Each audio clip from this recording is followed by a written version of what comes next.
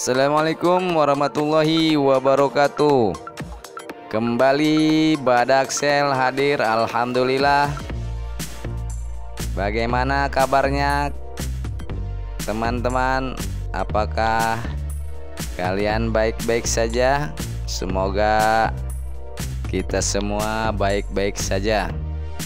Oke kali ini ada servisan Xiaomi Note 3 RAM-nya RAM 2 per 16 Dan keluhan konsumen katanya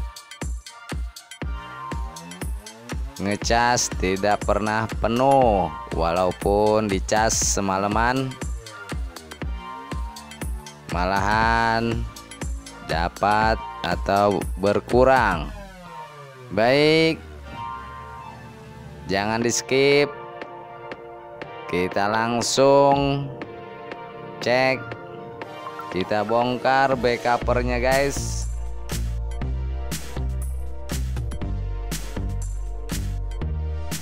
Oke, yang baru bergabung, selamat datang di channel baru channel Badak Sel. Jangan lupa klik tombol subscribe yang berwarna merah di pojok kanan sebelah bawah dan aktifkan notifikasi loncengnya agar tidak ketinggalan dengan video-video terbaru dari Badak Sel. Oke guys, sudah terbuka. Kita cas. Kita tes ada notifikasi bar pengisian tapi tidak penuh-penuh.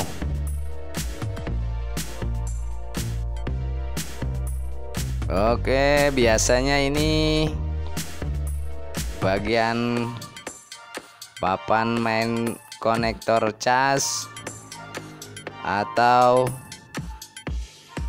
fleksibel penghubung mainboard atau bagian komponen di mesin. Pertama kita cek dulu bagian konektor charger guys. Kita buka. Bautnya satu per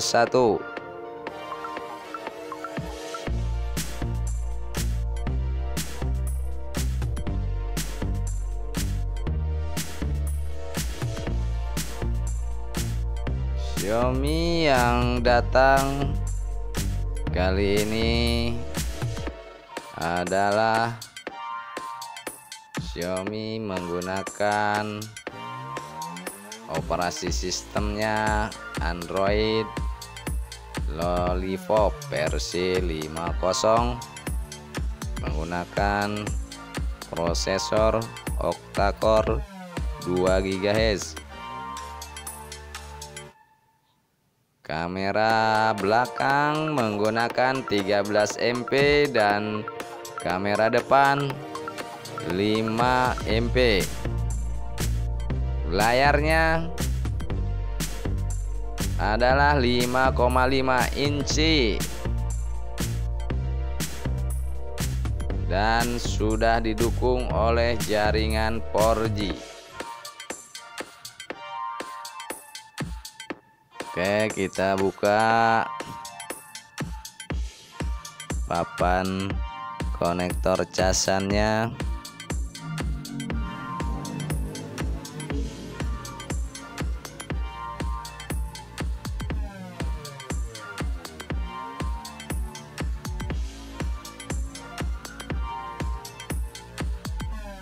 Kita analisa.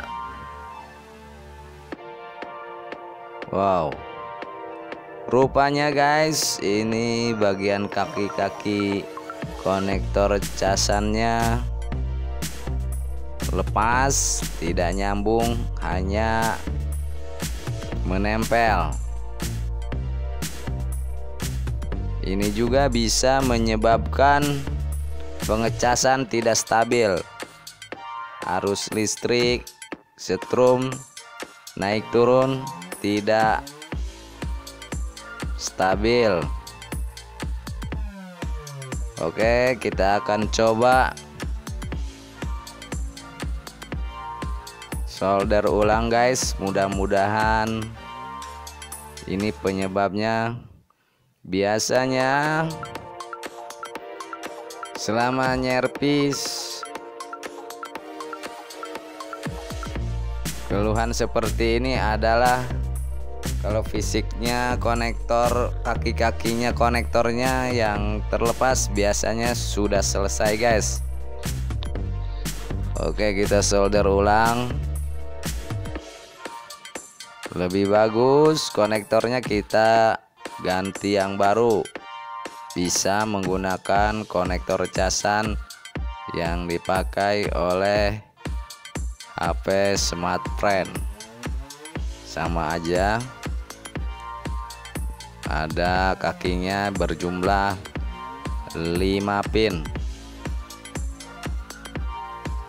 Ini konektor bagian sebelah kanan adalah ground dan sebelah kiri bagian masa atau setrum. Oke sudah selesai kita bersihkan aja menggunakan cairan thinner. Bisa juga menggunakan minyak kayu putih atau bensin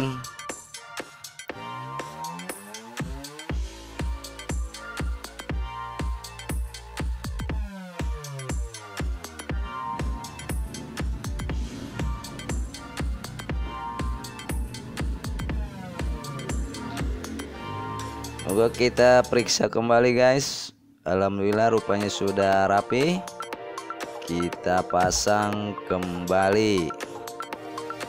Kita pasang soket konektor mainboard kemudian kabel antena dan kita tutup kembali seperti sedia kala. Demikian tutorial kali ini Semoga menginspirasi bagi kita semua terutama bagi kawan-kawan servis HP, teknisi HP pemula. Semoga menjadi inspirasi membantu bagi kawan-kawan. Semoga video ini bermanfaat barokah untuk kita semua. Saya tutup. Assalamualaikum warahmatullahi wabarakatuh.